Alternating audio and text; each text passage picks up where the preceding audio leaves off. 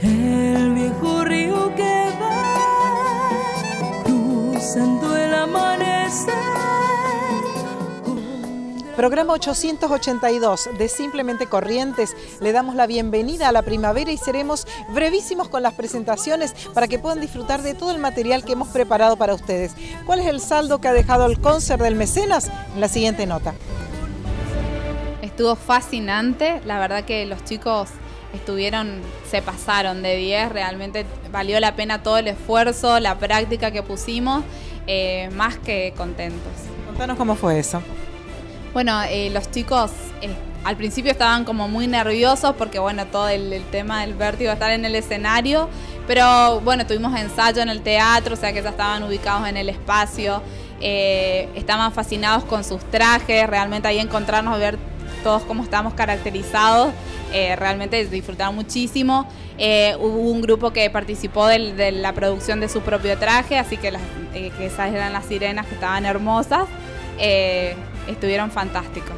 El escenario del Vera es una excelente vidriera y para ustedes es un desafío con el tema del inglés.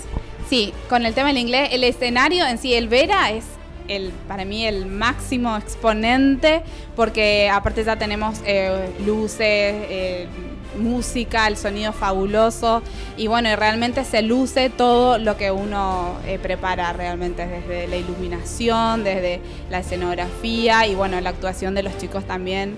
Em, con el inglés, súper bien. Fue, este año fue un poquito más exigente que el año pasado, hubo mucho más intervención en los diálogos, así que estuvo bueno, eh, hubo mucha naturalidad con respecto a los chicos, porque bueno, ya se sabían las líneas de todos, la verdad que fue algo muy lindo. Es además donde los padres evalúan además el nivel de inglés. Sí, la verdad que sí, me, han festejado, digamos, por el tema del inglés.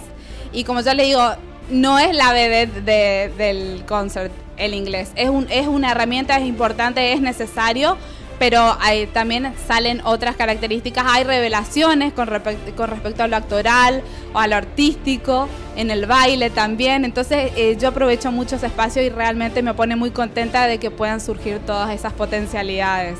Felicitaciones. Bueno, muchísimas gracias.